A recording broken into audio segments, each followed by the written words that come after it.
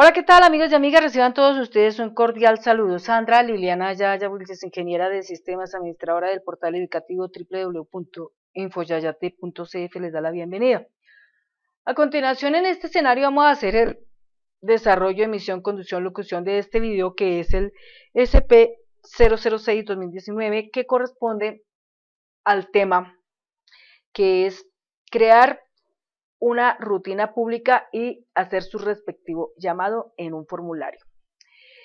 Bueno, para eso, entenderlo, lo vamos a hacer con este ejemplo. Tenemos acá una base de datos llamada Macros Especiales 2019. Bueno, en esa base de datos tenemos una tabla que se llama TM Catálogo, con la cual tenemos unos registros ya establecidos producto, detalle del producto, precio, precio de venta y cantidad. Se lo necesitamos pasar a cada uno de los ficheros que vamos a ir construyendo de acuerdo al código del cliente. Tenemos una lista de clientes, en este momento tenemos solo tres, pero en un futuro podríamos tener muchos.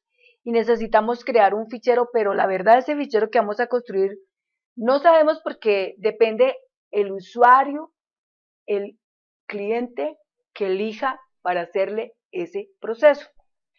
Pero entonces, para eso necesitamos crear una rutina pública en nuestro módulo. Entonces, en el módulo, para eso, primero tenemos que crear aquí una variable pública a la cual le vamos a poner este nombre, public pv nombre fichero as string, no más. ¿Listo? Cuando ya la tenemos así, entonces seguidamente, ¿qué necesitamos? Construir una instrucción SQL que permita hablar sobre anexar datos. ¿Cuáles son los elementos? Una tabla destino, una tabla origen. ¿Cuál es mi tabla origen? TM catálogo. ¿Cuál es mi tabla origen? No sabemos. El usuario es el único que la va a elegir. Nosotros solamente tenemos que cumplir con escribir el procedimiento dependiendo de ese factor. Entonces, para poder hacer eso necesitamos primero una instrucción SQL. Entonces, esto lo podemos obtener así. Crear diseño de consulta. Entonces, tenemos aquí el TM catálogo, le damos a agregar. En ese momento él dice, bueno, ¿a cuál tabla vamos a agregarle todos estos datos? Ya tenemos aquí uno existente que se llama catálogo tal cosa. Entonces, eh, teniendo este elemento así, mm, vamos a seleccionar todos los elementos que tenemos ahí y los vamos a mandar acá a nuestro tablerito. Y aquí le vamos a decir anexar, entonces en ese momento nos pregunta a cuál tabla va a anexar estos datos. Entonces aquí abrimos y le vamos a decir a esta tabla. ¿sí? Por ahora esta es una tabla definida, ¿no es cierto? Pero resulta que para nuestro proceso es ahí donde vamos a hacer algo especial. Bueno, una vez que ya tenemos eso, lo que inmediatamente vamos a hacer es remitirnos a esta herramienta llamada ver, abrir el switch y escoger el SQL. En esta manera vamos a ver qué es lo que el sistema escribió. Lo que el sistema escribió nosotros lo vamos a copiar, control C, y no lo vamos a llevar para nuestro módulo público. Entonces vamos aquí a salir, otra vez diciéndole aquí, vista diseño, aquí no vamos a grabar esto porque ya tenemos el SQL, entonces cerramos, él nos preguntaba guardar, les respondemos que no. Nos vamos a ir a nuestro módulo público. Entonces a partir de aquí, vamos a crear una rutina, vamos a crear una rutina. Entonces esta rutina se empezaría así, public sub, eh, ¿cómo la vamos a llamar? Entonces anexar datos TM catálogo a otra tabla X. No sabemos cuál será esa. Abrimos un paréntesis y ponemos dos nombres, dos variables. T, o sea, TBL origen as string, coma, y el TBL, TBL destino as string y no más. Y cerramos con paréntesis. Así va a quedar declarada nuestra rutina pública. Ahora, dentro de nuestra rutina pública tenemos que em, declarar una variable privada. Entonces le decimos dim str sql as string. ¿Listo? Y ese, ese, ese término str sql será igual a qué? Entonces vamos a hacer un pegar. ¿De qué? De nuestra instrucción SQL. Ahí está. Lo que vamos a hacer con nuestra instrucción SQL simplemente es reemplazar algunos elementos como son, por ejemplo, donde diga eh, TM catálogo lo reemplazamos por TBL origen y donde diga catálogo número tal lo reemplazamos por TBL destino. Bueno, entonces empezamos así. Aquí, después de este str SQL, aquí, después del igual, primero escribimos un igual, eh, perdón, escribimos una comilla doble. Luego insert to, insert into, eh, corremos acá, hacemos un espacio, ponemos la comilla, hacemos un espacio, ponemos un ampersand. Eh, entonces acá la palabra catálogo, todo este nombre, lo vamos a reemplazar por ese T, TBL, TBL destino espacio, símbolo ampersand, espacio, comilla. Se deja así. Entonces, aclaro algo muy importante por experiencia que he tenido, es que ese TBL destino, cuando usted construye ese nombre, es más práctico que usted use los raya al piso, no use símbolos guion, porque el, el Access los interpreta de una manera y arroja un error que se llama el 3134. A mí me dio mucho, me dice como dice, me dio sopa y seco, bastante rato, para entender ese concepto, hasta que finalmente lo pude entender y aprendí. Que cuando se hace el nombre, pues evitar poner ese rayita, más bien ponerle raya al piso, pero rayita no, porque eso nos forma un choque ahí tenaz y nos va a retener un buen tiempo intentando averiguar, intentando descubrir por qué razón es eso. Bueno, Después de que yo termino esta instrucción acá, así hasta el final, entonces ahí le pongo la comilla, espacio y la rayita al piso porque eso representa separación de esa línea. Otra cosa que tiene Access es que tampoco se debe agregar una lista larga de esa misma instrucción porque también por ese motivo también nos va a molestar. Entonces, nada que hacer ahí. Entonces, eh, lo hacemos de esta manera. Entonces, bueno, ahí otra vez el ampersand, las comillas, entonces ahí dice select, entonces después del select, ahí hacemos un espacio y le ponemos la comilla, otro espacio y le ponemos el ampersand, y ahí entonces ese TML catálogo que dice TML catálogo punto, ojo con ese punto porque eso también tiene mucho que ver ahí. Todo lo que diga TM catálogo acá, por ejemplo, eh, será reemplazado por la palabra TBL origen. Pero entonces, para que nos vaya rindiendo un poquito más la cosa, mire lo que vamos a hacer acá. Esta línea va hasta por acá, ¿no es cierto? Es bastante larga. Entonces yo lo que voy a hacer es lo siguiente. Yo voy a seleccionar hasta acá y voy a hacer un control H que me dice reemplazar. Entonces voy a escribir aquí mi TM catálogo TM catálogo y lo voy a reemplazar por un TBL origen. Entonces, aquí le digo reemplazar todo, me dice que son siete veces que lo encontró, listo. Ahora, lo que voy a hacer es esto.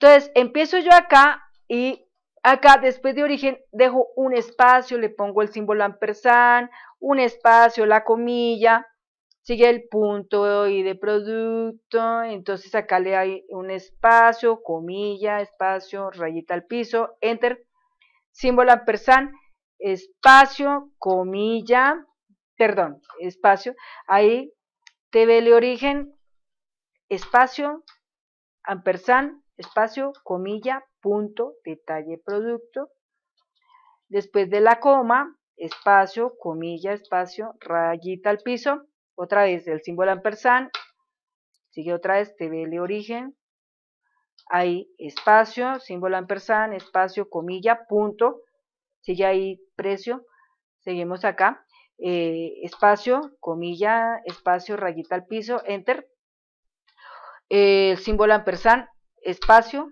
bueno, TBL origen, ahí espacio, ampersand, espacio, comilla, punto, precio, venta, coma, espacio, comilla, espacio, rayita al piso, enter, otra vez el símbolo ampersand, espacio, TBL origen, ahí, espacio, ampersand, espacio, comilla, punto, cantidad, y ahí termina. Entonces ahí una, eh, eh, una comilla, rayita al piso y listo. Bueno.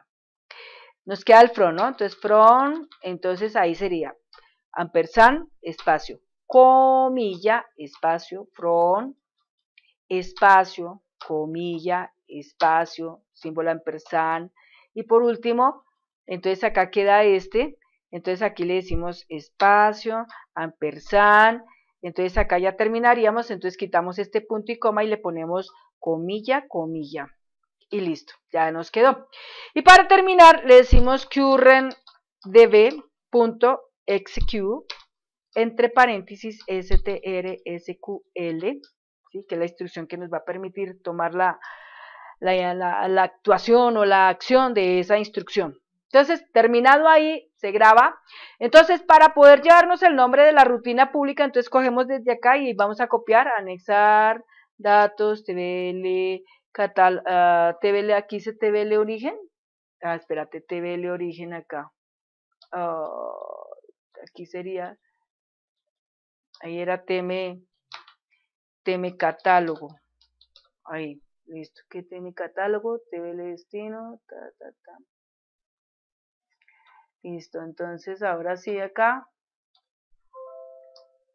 Entonces tomamos todo esto, lo copiamos. Eh, entonces, mmm, listo, está todo ok. Bueno, entonces salimos de acá. Nos vamos para FRM, crear tabla, clic derecho, vista diseño. Entonces, aquí le agregamos un detallito a nuestro cuadro combinado. Vamos a ir aquí a la hoja de propiedades, vamos a ir aquí a después de actualizar y vamos a cargar. Entonces, ¿qué es lo que le vamos a agregar acá?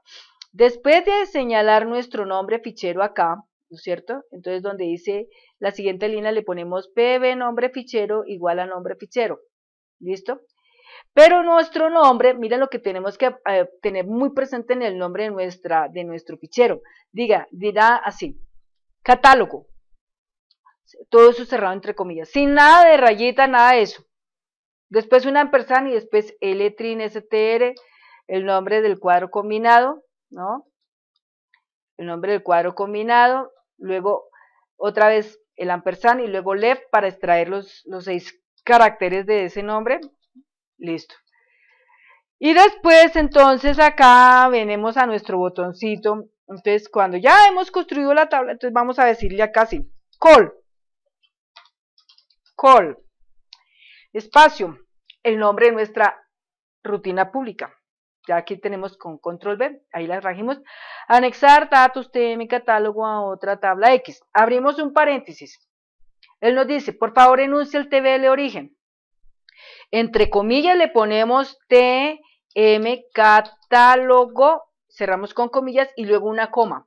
Luego nos dice enuncia el destino. Dese cuenta que aquí aparece TVL destino resaltado en negrito. Entonces ahí le vamos a poner, ¿cuál será en este caso? Anexar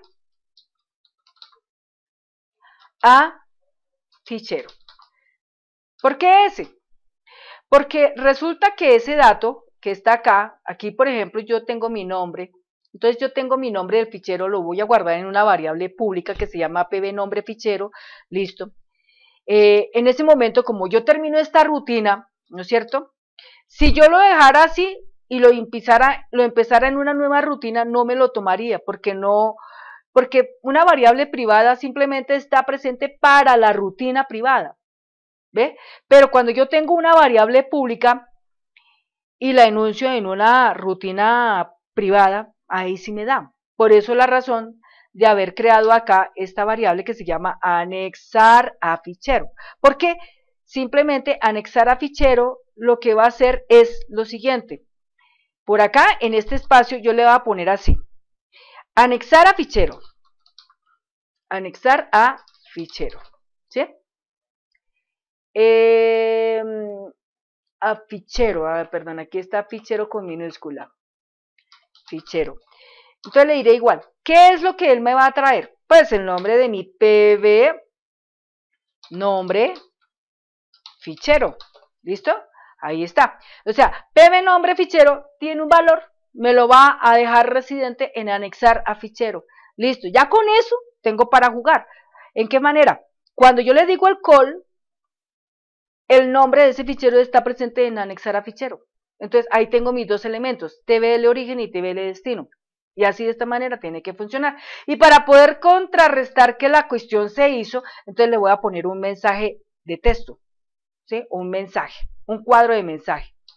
Entonces MSG voz, entre comillas le diré, se efectuó el anexo de TM catálogo a espacio, cierro comillas, espacio, un símbolo ampersand, espacio, y ahí le pongo anexar, anexar a, a fichero.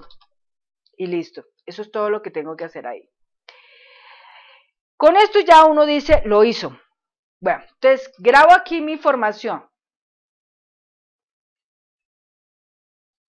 Guardo aquí mi tablita, entonces voy a, voy a, proceder. Entonces acá, este, este archivo ya no lo necesito, lo voy a borrar, ¿no es cierto? Porque la idea es que usted observe cómo él va construyendo los archivos. Entonces aquí voy a ir a la vista formulario. Entonces, una cosa importante es, yo puedo elegir cualquier, cualquier cliente que se me venga a la cabeza en ese momento, ¿sí? Cualquiera. En ese momento él construye el nombre de un fichero. Como vemos acá, el fichero no tiene ni rayita ni nada de eso. Si quisiéramos que se le pusiera la rayita, le ponemos catálogo, raya al piso, tal cosa, raya al piso, tal cosa. Siempre tratemos de usar ese raya al piso, más que la rayita, porque la rayita lo único que hace es eh, rebotarnos a un error, que se llama el 3134. Y ese error 3134 muchas veces dice que es que está presentándose un problema por longitud o por un tipo de dato. Entonces ahí, frente a ese detalle, pues uno ya lo entiende y, responde a la siguiente situación. Que el nombre del fichero pues debe ser simplemente lo que es, pero sin separaciones eh, definidas por una raya, ¿sí? O un slash, nada de eso nos sirve. Entonces simplemente todo pegadito o si usted lo prefiere para que le quede mejor, un raya al piso, punto aparte. Le decimos aquí crear la tabla, entonces en ese momento el saca un mensaje dice, se concluyó la creación estructura tabla tal cosa. Cuando yo le digo aceptar, entonces me dice, se efectúa el anexo de TM catálogo a esa tabla. ¿Listo? Y ahí termina mi parte. Entonces, si yo quiero seguir agregando más tablas, yo puedo agregar aquí otra y le digo nuevamente, y le digo aceptar, y le digo aceptar, y así. Y puedo seguir creando otra tabla, por ejemplo, aquí ya tengo eh, corona, Aquí tengo Telles, entonces voy a poner Martínez, por ejemplo. ¿Sí? Y entonces ya ahí, como se darán cuenta, tengo tres tablas creadas. Cada tabla, obviamente, tiene sus respectivos datos. ¿Listo? Podríamos mejorarlo por criterios y todo eso. Lo importante es que usted tenga presente definir el origen y el destino. Con esto que usted tiene ya es una enorme base para todas las cosas que usted quiera desarrollar, ¿de acuerdo? Bueno, entonces cerramos todo. Y así termina nuestro video. Quedo muy altamente con ustedes agradecida por haberme prestado atención y ya saben, cualquier cosa, pues aquí estoy para poderles colaborar en todo lo que se necesite. Recuerde que si usted necesita mi servicio, solamente escríbame a través de la web docencial www.infoyayate.cf. Allá usted escribe su nombre, de qué país y me cuenta todo el detalle y pues si esto es muy grande, entonces esto cuenta con un precio. Relativamente cuando nosotros hacemos un trabajo, si estamos hablando de sacar por lo menos de 50 objetos para adelante, eso ya tiene un precio. 50, 100, 200, eso ya tiene un precio. Entre más grande la base de datos, más tiempo porque una base de datos si tiene por ahí unos 200, más o menos estamos hablando de un mes, si tiene 400 estamos hablando de dos meses, porque de todos modos, pues en un día uno, por mucho que le haga 10 objetos o 20 objetos por día, ¿sí? Entonces, pues todo esto es trabajo, todo es trabajo, porque no fuera trabajo de solo escribir, es de pensar.